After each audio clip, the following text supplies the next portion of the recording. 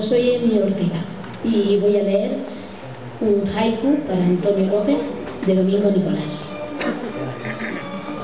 Desnuda llama que el viento fortalece sin apagarla.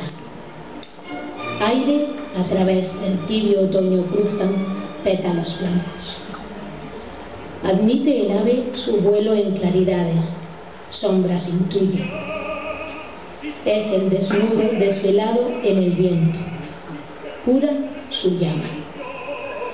Futuro ayer, en la vida su vértice de instante cero. El horizonte de vuelo igualitario, con todas, con todos goza, con todos pena.